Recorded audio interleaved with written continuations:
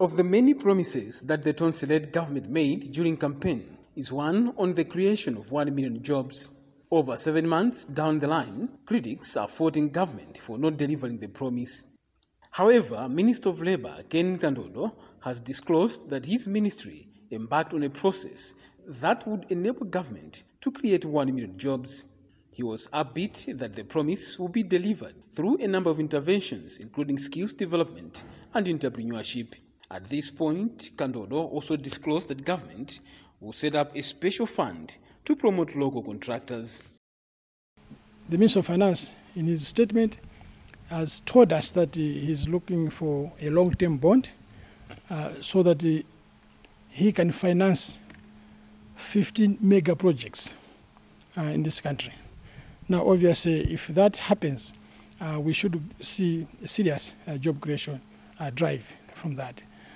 Reacting to Minister's statement, MP for Dedza South, Ishmael Onani, asked the Minister to provide clarity on why some shop owners are hardly complying with the country's minimum wage. Responding to Onani, Minister of Labour said his government will make sure that all employers are complying with the minimum wage. Meanwhile, the minister has disclosed that government is doing all that it can to ensure that about 40,000 ex-miners in the country get their financial dues from South Africa.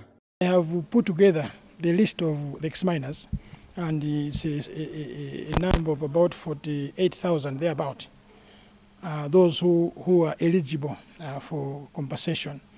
So I've given this list to the Minister of Labour South Africa, to the Chief uh, chief director or PS in South Africa. We've given to the Chamber of Mines in South Africa. We've given that list to the provident funds who are keeping the funds. Each one, I gave them that list. The idea is that uh, these funds, these fund managers, they must look at our list and compare with their list list of uh, members. So where there's a match, then they should um, now organize payment uh, for, for our ex-miners. So Parliament is in its fifth and final week of the five-week-long mid-year budget review meeting. Thomas Ipyada, MPC Lilongwe.